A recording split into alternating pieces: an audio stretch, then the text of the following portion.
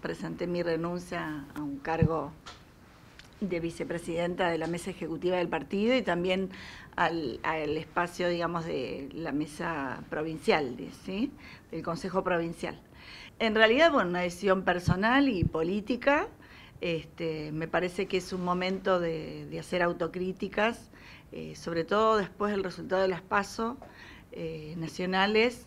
Creo que a los militantes políticos nos corresponde eh, la responsabilidad de, empezar a decir algunas cuestiones y marcar algunas, señalar, digamos, este, algunos este, hechos, eh, porque, bueno, justamente el triunfo de la no política o de un candidato que expresa que la no política y el Estado son los problemas, eh, nos tiene que obligar a reflexionar. Yo desde, después de las elecciones de medio término, 2021 para acá, he venido planteando este, posiciones diferentes a lo que se ha tomado como decisión.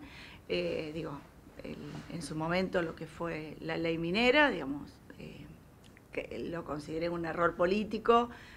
Siempre los señalamientos han sido internos. Este, luego la eliminación de las pasos, cómo se conformó la Alianza Chubut.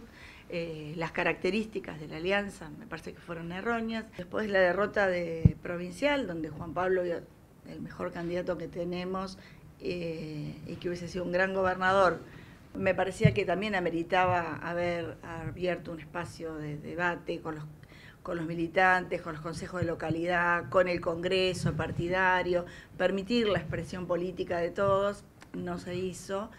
Y ahora, bueno, me parece que es más acuciante porque un electorado que siente un gran divorcio de la clase política, del gobierno, con sus necesidades, eh, hace que, bueno, yo realmente no me sienta representada en este momento de ser conducción.